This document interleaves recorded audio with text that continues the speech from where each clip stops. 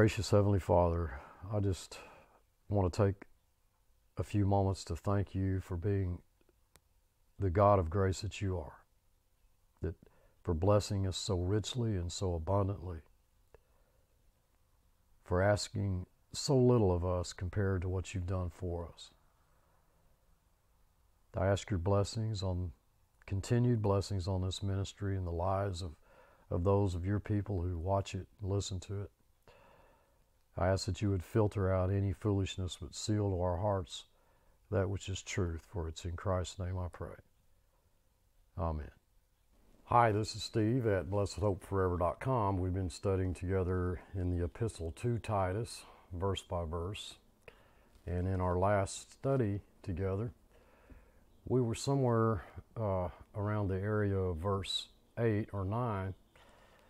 I'd like to do a little bit of review I want you to take note once again of just how that all through this epistle we've seen doctrine that's always preceded instruction.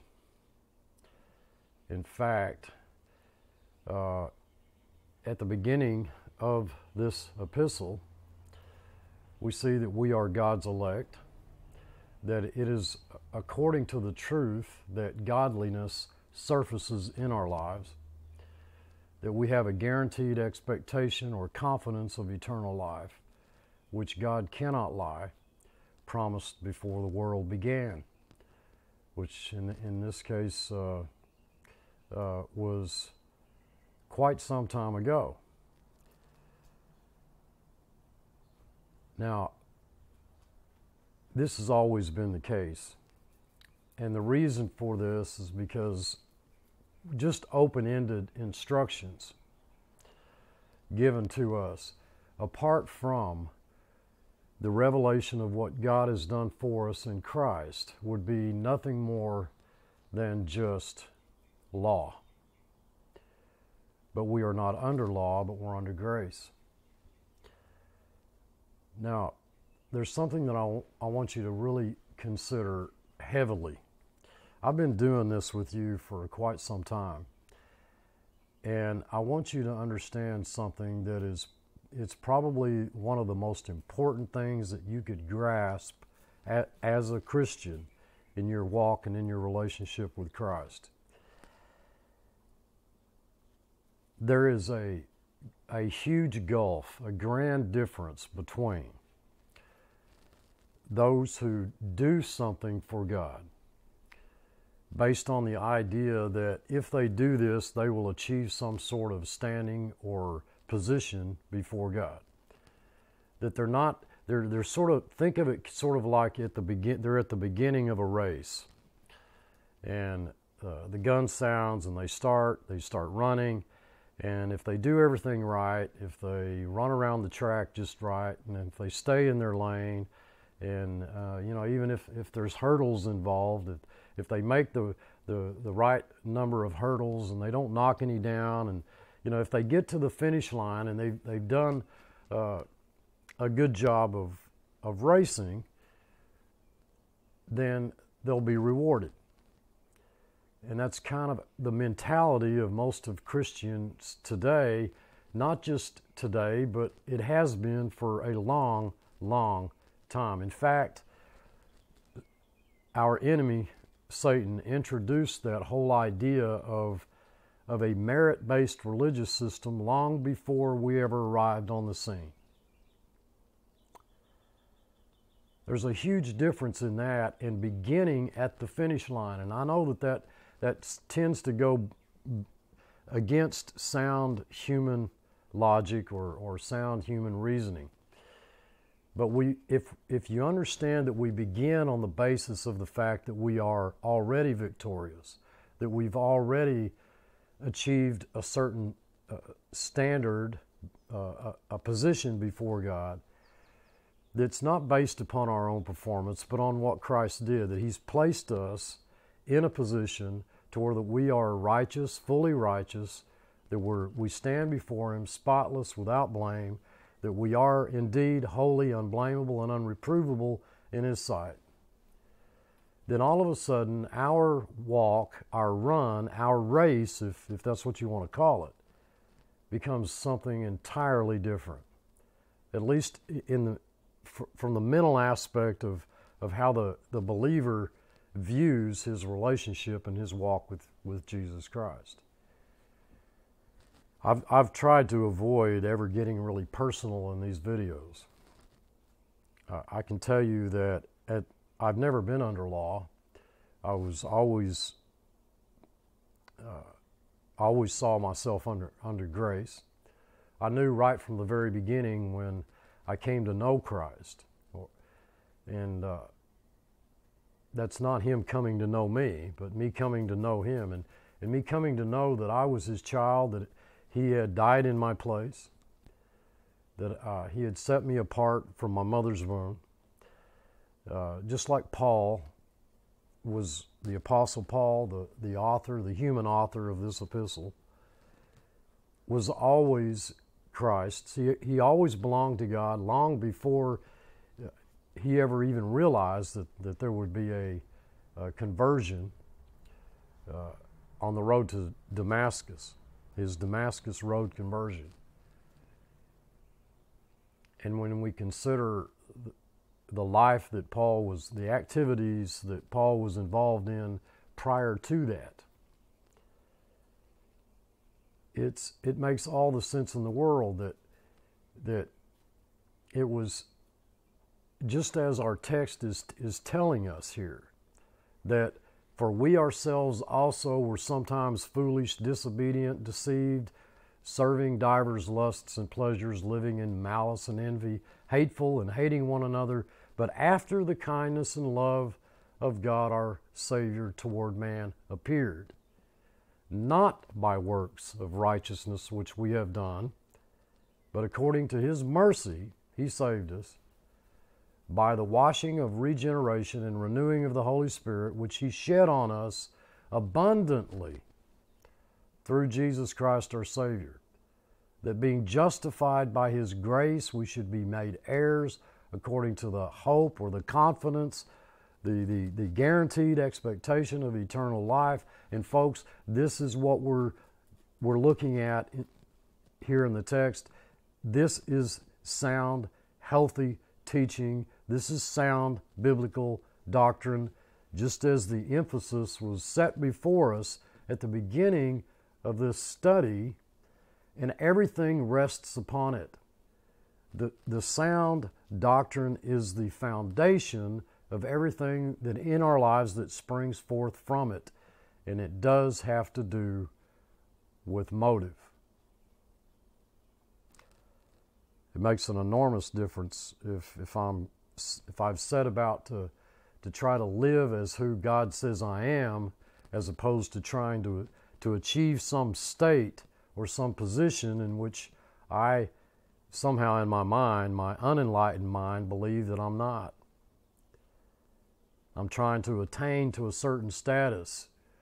I'm trying to gain merit before God. And folks, most Christians, I think, would, would almost have to agree that, that that is true. They know that we're not saved by works for the most part.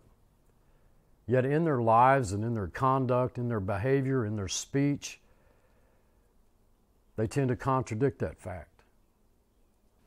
Now, our present text is basically, if, if you could allow me to paraphrase from the original Greek text, it says that, that that you were not delivered from your former way of life by anything that you did, no, not by any works that you did. I remember many, many years ago, it's, it's been over 30, 30 years ago, that the person who led me to the Lord, God rest his soul, he's, he's gone on to, to rest, to, to sleep in Christ he taught me one of the most foundational, fundamental truths that that a believer could ever know. That would that would ground me in the faith and make a difference in how I lived my life from that day forward. And that was that I was God's child. that there wasn't it wasn't by anything that I did that I didn't become a child of God by anything that I did. What I did was what it, what appeared to me to and, and even to others on the surface as being something that I did to become a child of God was little more really more accurately put what it was was it was the normal response of any one of God's children who come to realize that they are God's child. It wasn't that I did something to become God's child. Everything that followed was a confirmation of the fact that Christ had died in my place, that I was always his child. It wasn't because of anything that I did that I became born again, born from above. We know John 1:13 says that we were not born again by the will of the, the flesh, by the will of man, but of God. Our text, present text says, but by mercy shown us, by his dying in our place. We've seen this in the, in the present text. His death was effectual. His death was not provisional. His death was not conditional on our acceptance. The fact that he died in our stead, in our place, which guarantees that we will never die.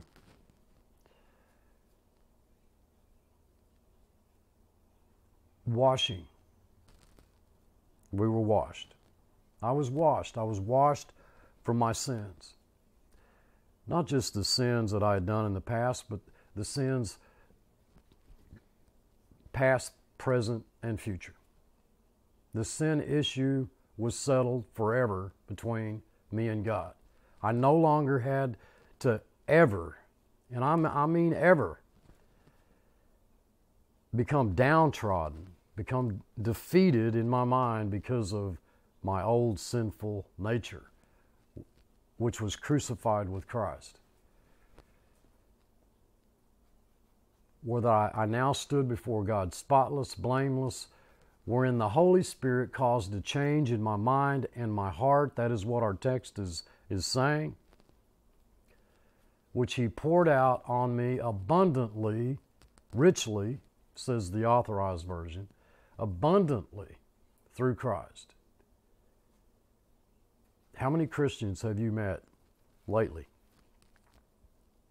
that are just so excited they're, they're beside themselves over the fact that, that God has poured out on them the mercies, the, the grace of, of Christ so richly and so abundantly. And the, to me, I read that, folks, and, and it, if it if it says anything, what it is saying is that I, am coming behind in, in no gift no spiritual grace, no spiritual uh, gift. There's nothing lacking. To be blessed so greatly, poured out so abundantly. I mean, what more could any Christian want or expect? And there was a reason for this, and this is why we have the hina clause there in the original text. In order that those three, those, those three simple words, in order that, carry so much weight. In order that, having been made righteous. Having been made. Even the English, folks, is telling you that you're not made righteous by what you do.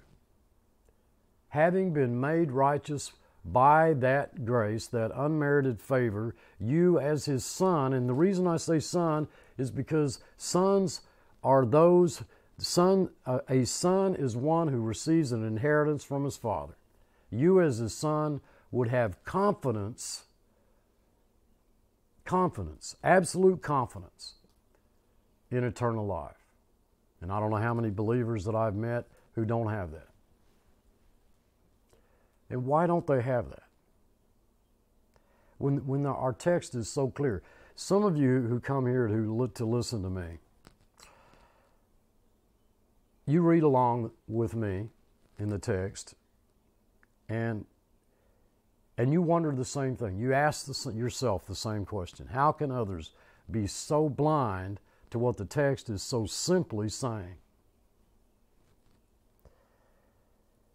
Well, I think there's a number of reasons for that. The, the, the most, the primary reason being that it, it, if that isn't proof that God, the Holy Spirit, is involved, directly involved in the, the illumining, the enlightening of a person to the truth of His Word, then I don't know what is. We live in a time in which Christianity, so called, for the most part, has departed from the faith once delivered unto the saints. Oh, but Steve, how can you say that? How can you say that Christianity, for the most part, I mean, it, it's so active, it's so involved, it's laboring so heavily, heavily for the Lord. It's it's sending its people out into the mission field, and it's and it's gathering together uh, meeting uh, Sunday after Sunday, and even even in during the week, in the middle of the week.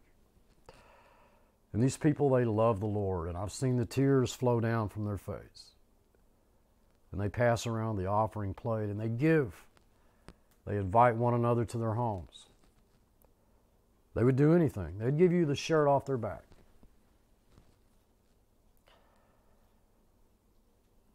Well, folks, I don't want your shirt off your back.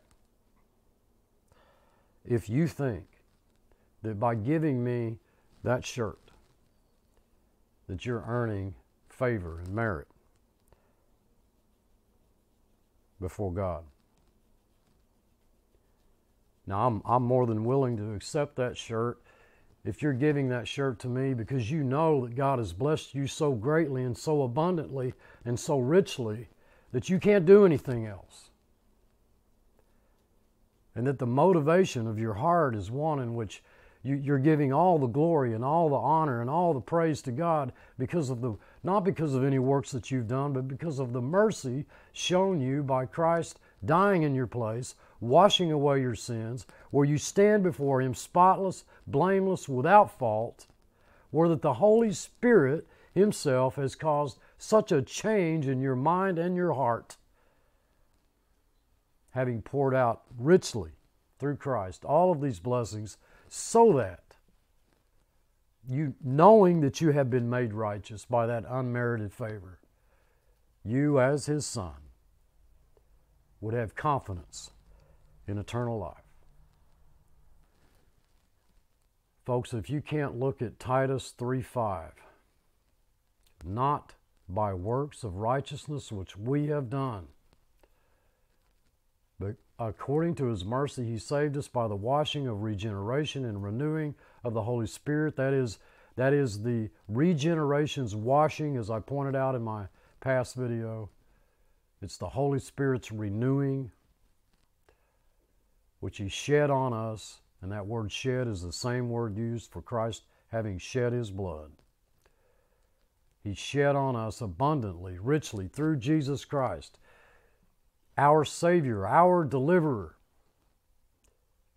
that being justified by His grace, we should be made heirs according to the hope of eternal life. If you can't see, folks, that there is no synergism in verse 5, not by works of righteousness which we have done, then you are ign- doing nothing but ignoring the text, the plain, clear words of the text. Not by works of righteousness which we have done, but according to his mercy. When we come down to Titus uh, 3 8, chapter 3, verse 8, the first thing we see is, is trustworthy is the same. Now, I'm going to be reading from the, the original text here, and the words may seem a little out of place in comparison to the authorized version. But in the Greek, many of you Greek students, you, you've come to understand that when you, when you read through the Greek, you'll see the placement of the words were placed there for emphasis. Trustworthy is, and that's in parentheses, the word is is really not there. trustworthy, the saying, it's articulated. The logos, saying the word. What, the, what that is, is telling you plainly, folks, is the Word, that is, God's Word, can be trusted. God cannot lie. Trustworthy is the saying. And concerning, the word concerning there is, is peri in the Greek. It's, it means full consideration where all the bases are covered. You've covered all the bases. These things. What are these things? The sound doctrine that we've been looking at. I want you to affirm strongly. The word affirm strongly is a word that, that it, it means emphatically confirm with confidence. You, you are being commanded to em, emphatically confirm with confidence what things? Sound doctrine. And then we have a hina clause. So that. So that. And then here's where the words are seem a little jumbled because they're they're put in a certain order. May take care. The word the word may take care is give heed, take thought. Good works. And there's our, our two words, our, our familiar phrase, good works. Works resulting from sound doctrine. Folks, this is not your works. It is not your works. Oh, I know it appears to look that way on the surface, but, but all of those Christians who, any, any Christian who, who looks at these good works as his good works has not, has ignored the surrounding words in the text. The word uh, to be devoted to, that's to lead by example. And I want you to take note, it's, it's those believing God. So literally what the what the original text is saying is that to affirm strongly so that those believing God may take care, or that is, give heed, take thought, lead by example, to be devoted to good works, that is, works resulting from sound doctrine. It's putting the cart before the horse. It's that those works that stem forth from, that flow. out. It's a natural outflow of works that are related to that that inner the the, the new man, the new, the sinless new man.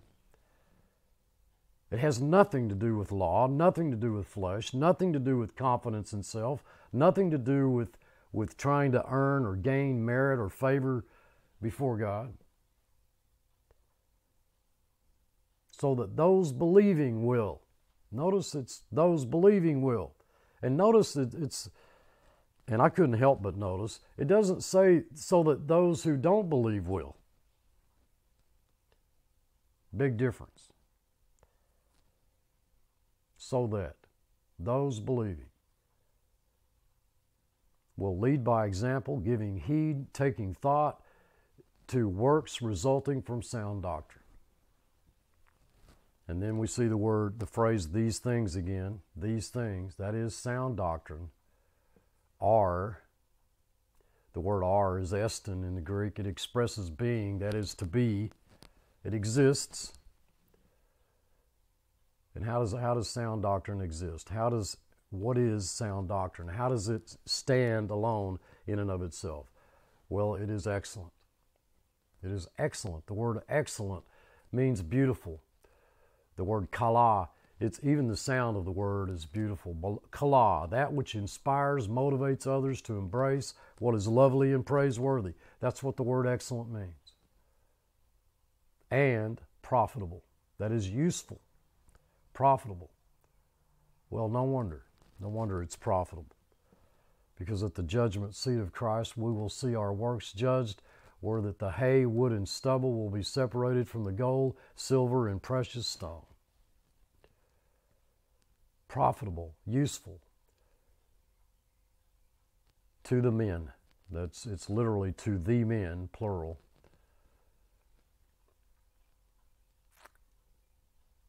And I, when I read this, I couldn't help but think of Second Thessalonians 2.10, and with all deceivableness of unrighteousness in them that perish, because they received not the love of the truth that they might be what? Redeemed? No. Saved, delivered. We know from Romans 5 9, much more than being now justified by his blood. That's how we were justified. The word justified, folks, was made is, is, is made righteous. We were made righteous by what? Something that we did? No. I mentioned Paul earlier on, on his on, on the road to Damascus. Paul had been justified, made righteous by what? His acceptance of, of, of, Christ on the road to Damascus. Somehow he sought out Jesus Christ and, and by some miracle Jesus Christ appeared? No, no. Paul was justified, made righteous by his blood. Oh, but Steve, I understand all that about the blood and all that, but but it's it's that Jesus Christ, God applies the blood when we to our lives when we accept Jesus Christ. Where did you come up with that idea? You'll, you don't, there is not a single verse in all the Word of God, in the whole entire New Testament, Old or New Testament, which would substantiate the idea that God somehow desired, his death for you was, was conditional or provisionary, in which you were held the ultimate final trump card. You were, you were the deciding factor. It's not really true that God chose you. He didn't choose you before the foundation of the world. He didn't set you apart from, from when you were inside your mother's womb. That Paul really wasn't, didn't belong to God until he made some decision on the road to Damascus.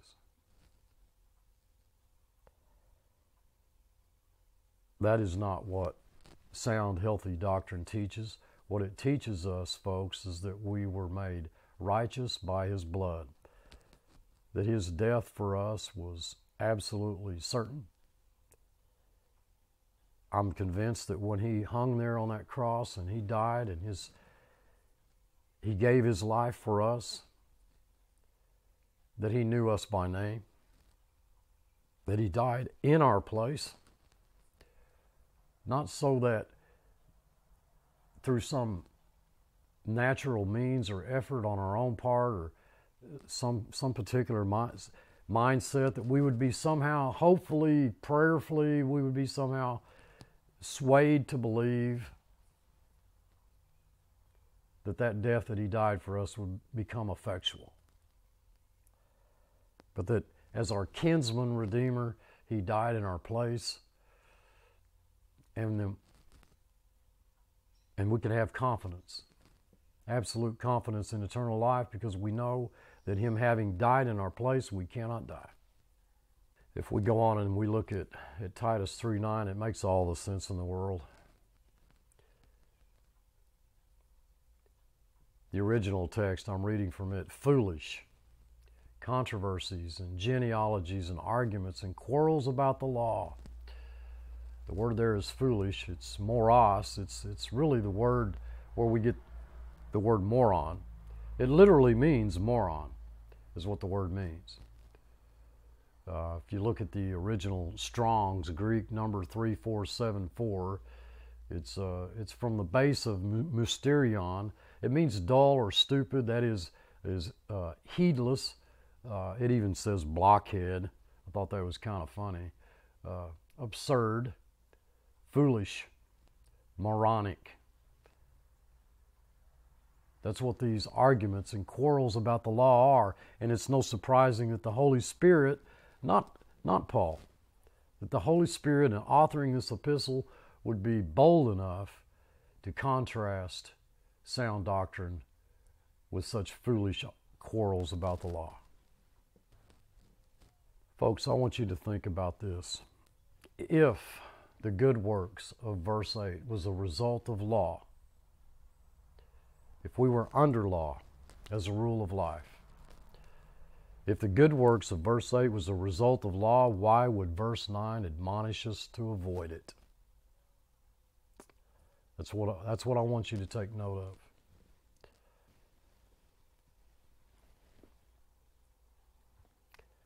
If we go ahead and read through verse 9 and into 10, but avoid foolish questions and genealogies and contentions and strivings about the law, for they are unprofitable and vain. You know, you, you know, in thinking about that verse,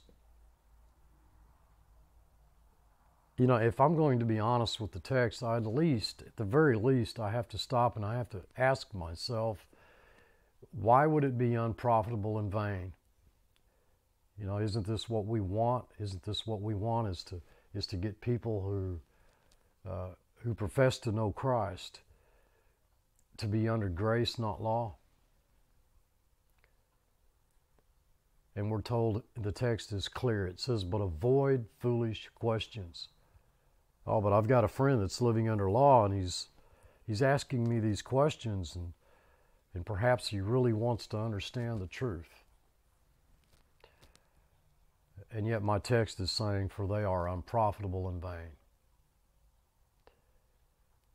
I think the, the emphasis there in the text is on the word strivings. Strivings about the law. It's to avoid the foolish questions.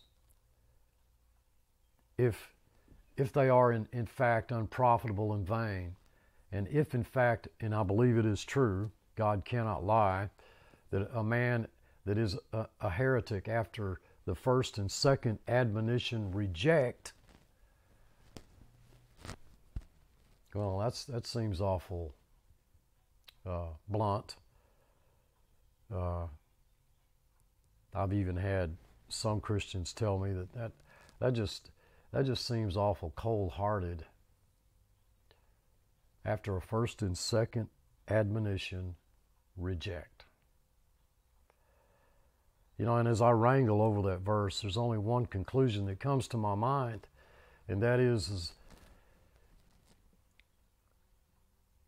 it's not that we don't have a heart for an, an individual that's that's that's truly uh, seeking uh, to, to un, un, uncover answers, you know, from the text that they don't have a sincere heart there in, in, in, in yearning. I mean, after all, doesn't doesn't Scripture say that that seek ye first the kingdom of God and and His righteousness, and then all these things will be added unto you. You know, after a first and second warning, I'm to reject this individual.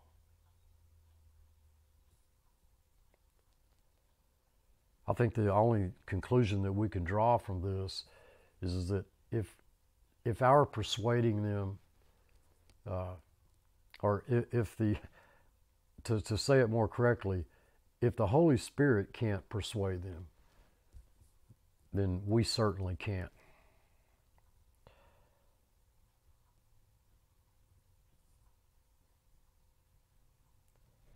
You know, I think we step outside the realm, outside the circle, outside the sphere of that which is praiseworthy, that which is lovely, that which is has to do with sound doctrine. Our life, our message, our ministry is Jesus Christ. Everything that's in us should just should scream out the loveliness of Christ and what he's done for us to be involved in, in any activity that's outside that sphere, outside that realm, outside that activity, to quarrel about, you know, have to, you know, quarrel over subjects that have to do with, yeah, but Steve, you know, I, I know we're under grace, but, you know, uh, we still got to keep the law. I think that there's a certain answer that, that we should we should we should give to a, to a question like that. It is it is certainly not. I and I've never found it to be in my life. I've never found it to be very profitable to try to put others under grace. Try to get to, or to put them under law to get them under grace, and that's exactly what I'm doing. If I'm striving and I'm arguing, you know, and there's contention and you know, in trying to answer these foolish questions, if, if I'm trying just for the sake of winning an argument, then basically that's what I'm doing. That's what I've, I have, I have stooped down to that level and I'm doing the exact same thing that they're doing.